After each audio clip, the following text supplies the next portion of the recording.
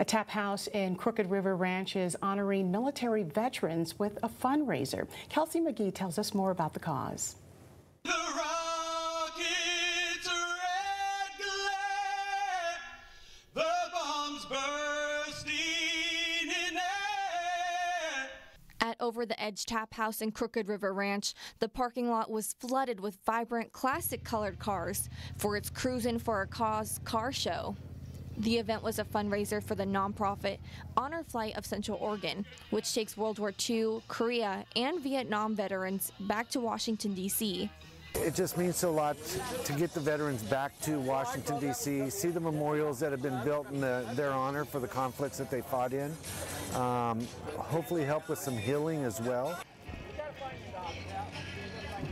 My dad's my hero, and he's America's hero. Um, dad's a painted, decorated veteran of the Army for Vietnam. Um, and anything we can do at Over the Edge Tap House to give back to our veterans, we're going to do it. The Honor Flight holds a special place in the owner of the Tap House's heart.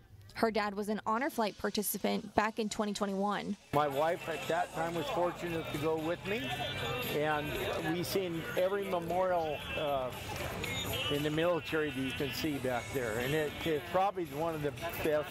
Well, there's no doubt, it is the most outstanding trip I've ever done in my life. Veterans get to experience the trip for free, paid for the efforts of donations and fundraising. In DC, veterans will see and reflect on the Washington Monument, the Vietnam and Korean Wall, and the World War II Memorial. Big welcome home on, again, something that they never, especially the Vietnam veterans, never received a true welcome home when they came home from war. Veterans can sign up for an Honor Flight trip or get involved as a volunteer. You can find that information at honorflight.org. Kelsey McGee, News Channel 21.